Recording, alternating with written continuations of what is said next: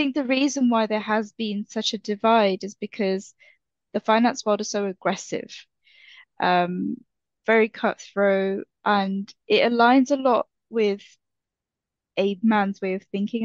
The reality is, fintech is not that sexy. It is hard work, but it is super fun and fulfilling. Why? Because most of us are in a vulnerable financial position and suffer from money stress. So, our job as fintechers is to come up with solutions. Welcome to Fintech Product, the place to be for career advice for women in fintech. I am Moni Millares and I've built a career building digital banks from scratch, both in the UK and Southeast Asia. I strongly believe in togetherness, and I'm here to open up, share, and bring fintech product and leadership experts together so that you don't have to start from scratch to thrive in your career in fintech. I'm Mexican British living in Asia, and I'm recognized as Singapore 65 fintech product leaders and women in fintech. Hello, everyone, and welcome back to another episode of FinTech Product Podcast. Woo! So today, of course, we have an amazing product woman in FinTech. Yay! And yay! we've got yay! uh, and, and we've got Aamna Hussain. Aamna and I, we actually we've met before. We used to work together when I was in Tandem Bank and we were in that process of building the bank, but she was working in Fiserv at the time. So it was kind of a partner fintech relationship, and now we're both in fintech. And what I love about her profile, A, she's an amazing leader, but then B, she's got experience in non product roles in product roles and not only within financial services. So she's been in a range of industries. So she's worked for Teradata, Fiserv, Reed Exhibitions, BT, and now Nomo. So Aamna, it's a pleasure to have you in the show. Welcome. Oh, I'm truly humbled by the introduction. Thank you very much, Moni. And I'm so excited to be here today. Oh, thank you. Me too. I'm thrilled to have you here. So I'll start with one of the most common questions that I get during mentoring, and you've lived through that. So, the most common question I get is Hey, how do I move into product? I may or may not work in financial services, but I want to get into product. It's kind of sexy and cool, and I want to get into product. How do I do that? you used to work in project management before. So can you tell us a bit about your story and how did that transition happen? Absolutely. So I'll try and start from the beginning. Um, I was very much interested in project management, as you mentioned, is where I started my career. So um, I was doing a sandwich course at university, which means you take a year out to go into industry before you come back and do your final year. And I, of course, I did it in uh, I did as a junior project manager for Teradata. Um, very, very interesting. Loved it. I knew this is what I want to do after after university. Um, and I, I went into project management afterwards, and um, it was good. Uh, and I was looking for roles at the time as well, and I remember I, I was in touch with a with a recruiter, and this is before I guess the product boom. Mm. And um, I kept going for like these typical kind of junior project manager roles. And she's like, there's a there's a product role, you know, maybe you should just try it, go for it. And I was like, ah. um, and she was like, no, no, really, I, I think you should go for it. And I did. And, you know, she asked me for my feedback, and I was like, I'm not too sure if, if I'm the person they're looking for. I got the phone call on the same day saying, when can you start? And that was oh, cool. the start for me as um, within my my product career. And since then you know the rest is history. I've i've made a career out of it. Um, and i would say i get this question a lot as well from people who reach out to me um, mentors uh, mentees sorry. Yeah. um, and it's it's a very interesting one because a lot of the people that i know and i'm sure it's the same for you we got into product by accident.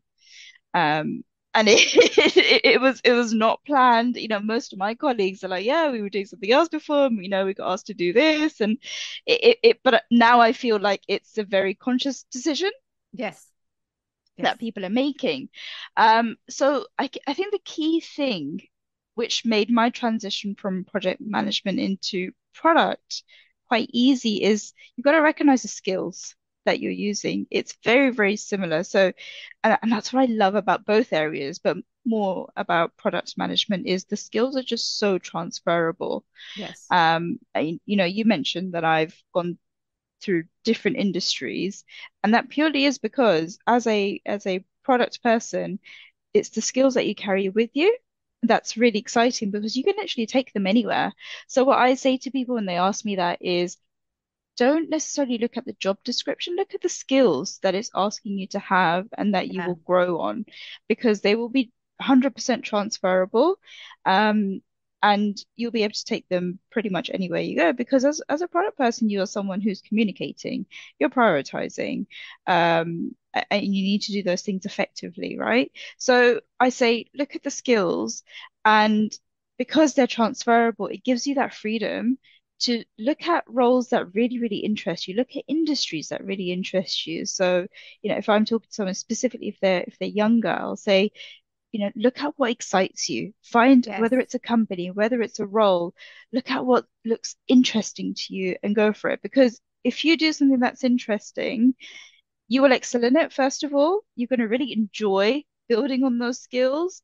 Um, and it's just overall going to be a very enjoyable experience. So that would be my advice to anyone saying, you know, how do I get into product? Is look at the skills that it's asking for, build on them, do whatever you need to to to if you do feel you need to grow in a certain area, you know, go on courses, whatever it might be, um, and look at something that that seems enjoyable for you because it's not going to be the same as your friends or your other colleagues. Exactly. Yes, I totally agree. It's about, yes, enjoying what you do.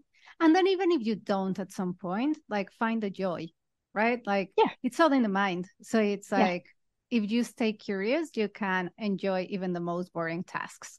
So it's like enjoy Exactly. your enjoy your work and try to to work in a in a company that you and basically company and product that you enjoy building at the same time. Yeah. And that can change over time, right? Like you can start off Exactly. doing a certain job, a certain industry, and you might find, you know what, I think I need a I I change. think I'm I need a change. Like I'm done here. I want to try something else. That is absolutely fine. Like I said, transferable skills, you can take them anywhere. Exactly. And, and I, I love that because that it's kind of like giving us a little bit of a glimpse of your leadership style, you know? So when we were reconnecting the other day, I loved how you talked about your core values and how you protect your team. And I was like, this is the type of leadership that we need to see more of like in the industry worldwide and in podcasts you know like that it's like showcase that it's like hey guys this type of leadership does exist and it does exist within the industry especially within a male dominated industry. So can you expand on your leadership philosophy? That's very kind of you, first of all. Um, so for me, I as I've um as I've gone through the roles that I have, um, first of all, you have to recognize that you are a leader in some shape or form. Um, I think, you know, associating leadership with just your CEOs or your senior leadership team is it, it, it obviously they are, you know, your leaders, but leadership is so much more than that and it's so much wider than that. And I came to a point where I realized actually I've been a leader for the last maybe five years or so because as a as a product owner, product manager, you are leading a team, and that you team are is made of people. Um, and that is sometimes the hardest thing to achieve when you're working um, in a professional environment. So I, you know, having that realization, it, it brings about the responsibility that you have to those people as well. Now, my typical leadership style is very much um, servant leadership. Yes I fully believe, and I, I write about this all the time, I post about it all the time. You are there to serve your people as much as they are here to serve you. And when you think of particularly your product team, yes, they'll have their own line managers. Sometimes some of them may um they may align into you. Um, but at the end of the day, they are looking to you for guidance, yes what work there is, um, the day-to-day challenges that you might have. Because in a lot of particularly product teams, you won't have like a a scrum master. You've got to wear a lot of hats. True. Um, so you have to be there for your team. So yeah, it, it was that realization that I had that really brought about that responsibility and made me think about, okay, how do I ensure that my team is happy as well as us making the product a good thing as well. Um, so for me, my team absolutely come first. Um, and my team know this. Like I will defend them to the end it. of time. Like, um, because you see them day in day out working hard. And you know, not no one comes into work wanting to do a bad job or anything. And I think it's so important for you as a leader to really try and inspire them, but also be there for them. They have to know that you are there for them. If they mess up, you're there for them. fine. If they're doing a good Yeah. job, exactly. If you, if they're doing a good job, call it out. Like you have to have to be there for them and just feel like they are supported. So for me, it is about serving them, uh, making sure they're all okay, having one-on-one conversations with them, um, and ensuring they're they're getting the best out of the role as well. Um, I've talked a lot of people out of their role because I want the best for them, even though I've had to take the hit, and you know it means that Yeah. they leave my team. Honestly, I'm like, as long as you are getting what you need and you're happy, I I prefer that. Um, so yeah, I, I I love it. And you know, coming into a team and knowing that they are happy and they feel supported and they're just happy with you, right? I, I think that that's very important Yeah. that as a leader, they need to be happy with you. And if they're not, you need to reflect, okay, what's going on and keeping that communication Yes. channel open. Yes. Um, but also one thing that I really want to reflect on is inclusiveness as a leader. Mm. So Yeah. you've got to make sure, like, diversity and inclusion is a huge thing, right? But what does that actually mean? You know, what does it mean when you're going out with as a team and you're going somewhere where someone can't drink, someone can't eat the food with the restaurant you're going to, someone can't really partake in the activities that you want to do. You've got to make sure that everyone is included uh, and try your best at it. And I feel the world that we live in today as leaders, you should be really conscious of your team, you know, understand them as people. Do they have a family? Do they have other commitments? You know, do they need to go and do the school run? Of course. How do you accommodate? You know, time zones is a huge thing, right? How many of us work with a team that are just scattered around the world? I I I think it's been years since I've had a team that's just been under one roof. Um, so we have to be conscious of people just have lives outside of work, and that's fine. That is okay. Um, I do not expect any of my team members to act as if they don't have a family, they don't have other things to look after. Um, so really just trying to understand it and accommodate it. And what you find then is when you're making, um, when you're accommodating for these things, people are so much more engaged. They want to come in, they want to do their best because they know, look, we've got someone behind me who's supporting us. Uh, You know, why wouldn't they? So for me, it's all about servant leadership Yes. overall. And and and you raise a very good point because if I reflect on my journey, the times where I enjoy the work the most and the times where I dislike the work the most is when the team composition, when I love the team that I'm working with, I'm having so much fun. And yes, we have deadlines, this and the other, but like you say, like we've got each other's back and we laugh during the day. And it's hard and something mess up, but like we still laugh, right? Yeah. Those it's it's very different when you go to work happy because you're working with with a team that a you don't have fear that they are going to scream at you if you mess up. It's more of a hey well it's part of the process. How do we fix it?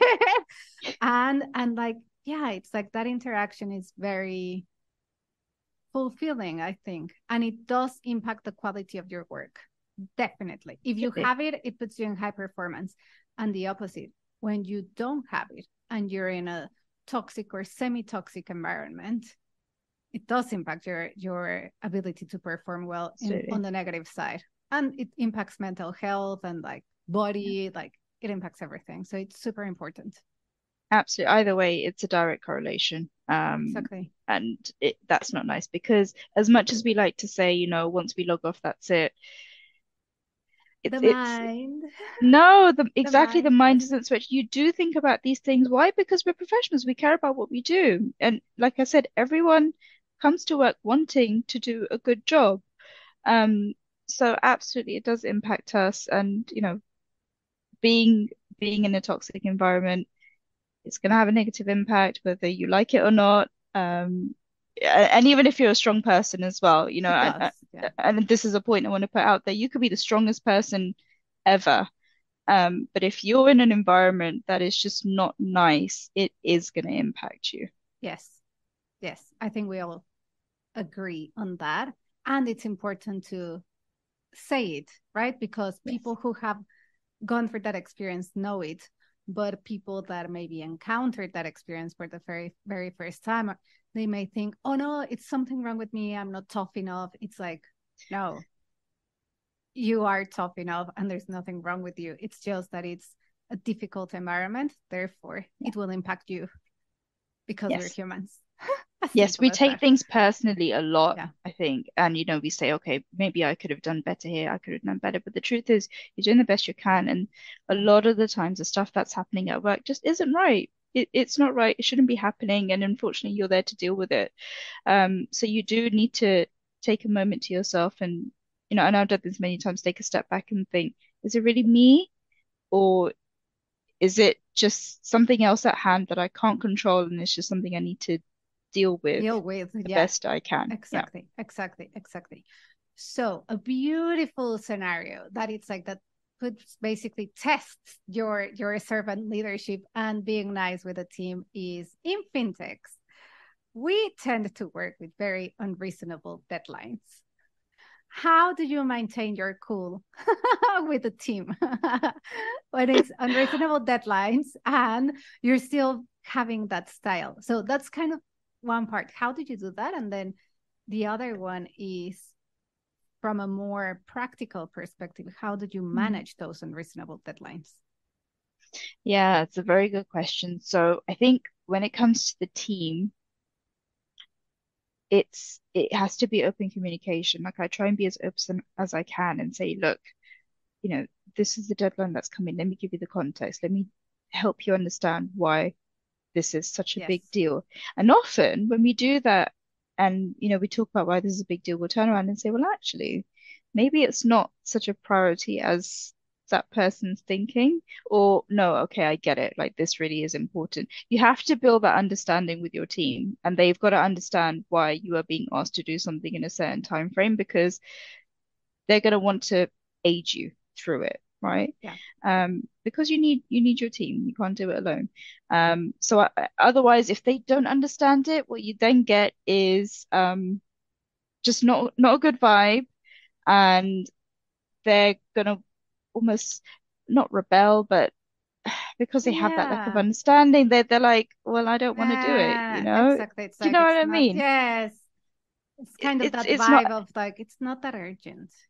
It, exactly. But even with like, you know, explaining something nicely to them, even that doesn't cut it sometimes because your team aren't stupid. They know that uh, actually this shouldn't be a priority. And that's what I'm saying. You know, you have to have that open communication with them. So you both both parties understand, yeah, this is a requirement, this needs to be done now. And if not, then it's your job to to go back and say, well, actually, I've spoken to the team and we we we think think this can maybe hold off for a little bit. Yes. Exactly. Because I think even senior leadership, they have to understand that they have hired or have had a, had a hand in hiring experts. They are there for a reason. This is exactly why. Um, so you've got to take our word for it. And I'm more than happy to give back, you know, stats, figures, and say, look, this is why. And, and you should absolutely be doing that as as um as a team leader or whatever you might be. Um, but you've got to be able to communicate that back and forth, um, because it's only fair. Um, practically how how I've made that work within the team is, you know, like I mentioned, having that open communication, but that pushback, it's very important. So I'm always communicating to the team, look, guys, if anyone's asking you to do work, you've got to make sure you've got all the information that you need. And also we're getting we're giving back the information also. Um, so yeah, I think it just comes down to very, very open communication throughout the levels. Um, Yes. in fintechs, you'll know, especially startups, you may be dealing directly with your SLT, with your CEOs. Um, so it becomes even more important to have that open communication throughout as well. Um, and yeah, it, it's being able to say no, but why? But exactly, What, why are we saying no? Yeah. Cool. I love that because, yes, as a product person, you need to learn to negotiate? Like it is like the when to push back, when not to push back, when you receive pushback from the team, when to accept it and when to push back again. And then to be like, hey, leadership team, like push back, push back. it's like yeah, it's in the backlog. It's in the backlog. it's like it will get there. Yeah. And also yeah, and you have to also understand why your team are, are trying to push back as well. Again, it comes back to having communication with the team, and it may be something quite small. They may actually need some extra time. They may actually need some help to, Yes. you know, th- they may be saying no because they're nervous because they think, oh, I've got to do this part on my own and figure it out and, you know, give it back to Aamna so she can go report. So the easier Yes. thing to do is just say, look, no, no, no, just put it in the backlog. So you need to understand what their needs are. What what can they do to achieve the goal that we've set out as well? And Yes. again, it's your job to try and enable them the best that you can. Um, so understand why your team is saying no is very important. Yes, and I guess it sums up to that because then you said you at the beginning you said communicate, then I said negotiate. But actually, what you do when you're like communicating, negotiating, it is you are understanding. Basically, you're understanding why the company needs those timelines and what needs to get done to get that timeline or not, and the priorities, and understanding the person in front of you. Like you said, like coming back to servant leadership, it may be that, hey, that week the i don't know like the child is sick the whole weekend usually they good work until very late but you know like that Yeah. week is not feasible and then Yeah. it's about understanding the whole context so that then as a team you can make the the kind of like the best decision for the team of course you as a product lead you have to take the accountability but it's not a dictatorship it's a hey taking into account everyone Absolutely. And I often think of myself as a, as a product manager. You like a human bridge. You know, that business is very like, you know, very corporate, you know, we need this. It's it's very um arbitrary, right? Um, and then you come to your team, which is like the complete opposite, you know, they're like there's a lot of emotion there. So you've got to be that human bridge of, okay, I understand that, I understand that. Okay, how do we how do we meet in the middle and how do we all understand?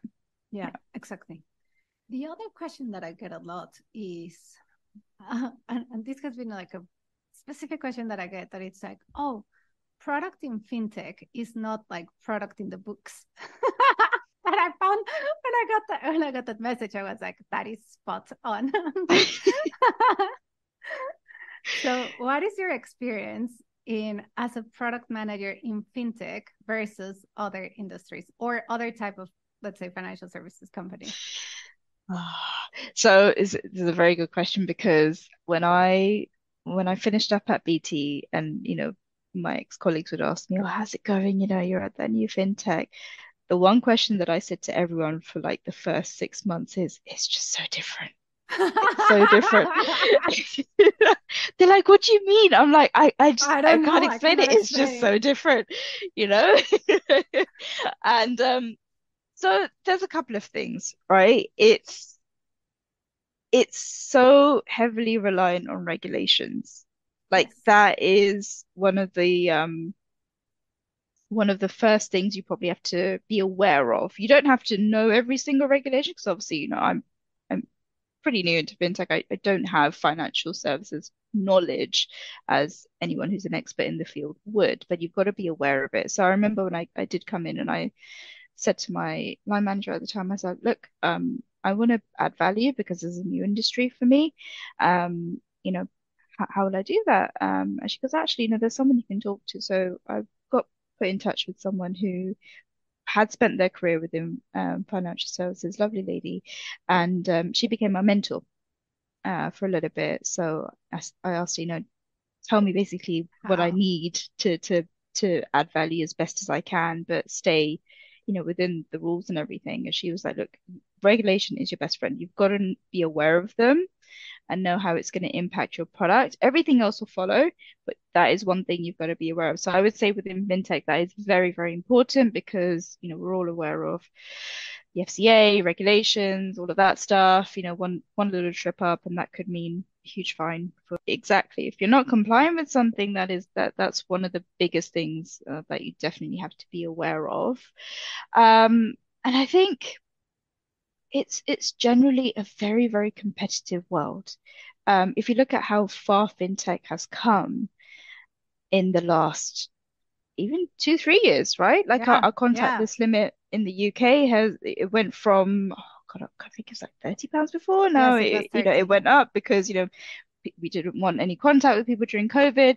Um, so many things that have spurred changes, but it, it's just so so different. I mean, I always say to people like before digital banking was a thing and fintechs were growing, we would do about 90% of our banking in a branch.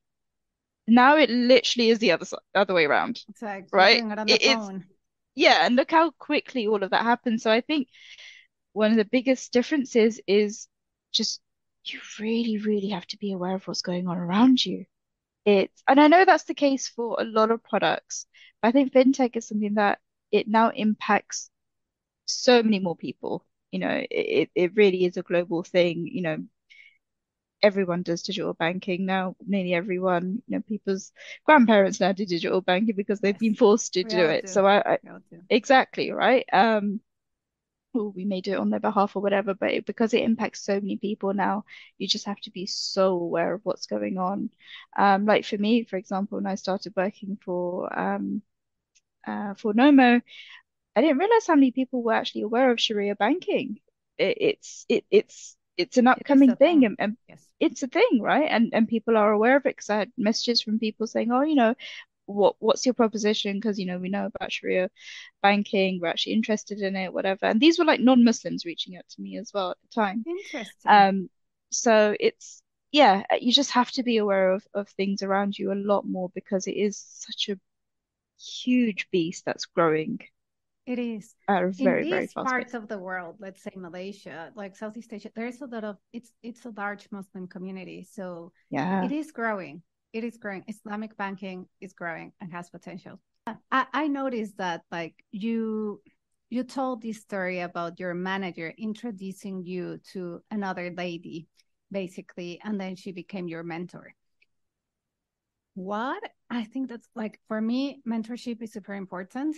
And Yes. at the same time, it's like men, women, like it doesn't matter like if, if your mentor is a man or a woman. But at the same time, I think it's important for us as women to to give a voice to the Yes. challenges that other women may be having in the industry, A, and then B, for all the girls that are just finishing uni or you know they've been they've had a few years in their career and they are about to enter the industry because it's cool and sexy and you know, you know everybody wants to go in. I think people need to go in with their eyes wide open as we change the industry for the better. So, in Yeah. your opinion, what are the challenges that we as women have in fintech that you need to be like, hey, that may happen? That's a tough question. That's a very tough question. it's it's a tough question, but I, I love talking about this. Um, and so I'm going to talk about it in fintech terms, but also generally as well. So with fintech specifically, I think it is definitely an area we need to focus on because it's been male dominated for forever, right? Um, and I think it's only now that we are starting to see women come into the industry and kind of, I guess, balancing out a little bit. Yeah. Um, now, there are two different challenges. I feel there is obviously that being up against your male counterparts. How do we do that? And it's not a competition, but how do we, how are we seen, I guess? And th that ties into my second point, which is the challenges within oneself Yes, that's what I was about to say. Yes. Yeah, because it, it all ties in. And I think the reason why there has been such a divide is because the finance world is so aggressive, um, very cutthroat, and it aligns a lot with a man's way of thinking, I suppose, and their psychology. hmm And as women, because I've I've done I've done a bit of research into this because I this was part of my own self-development. So I'm huge in self-development, Yeah. and I really wanted to understand, okay, what what it is that I can do to help myself. Yes. And I I think once you start to chip away at this, it doesn't really matter which industry you go to. Um, but sometimes the challenges are a lot more in your face, like fintech, you know, being male dominated and everything. Other industries, maybe not so much. But um, what I found, and I definitely aligned with this, is um, the way that women behave at work doesn't always benefit them.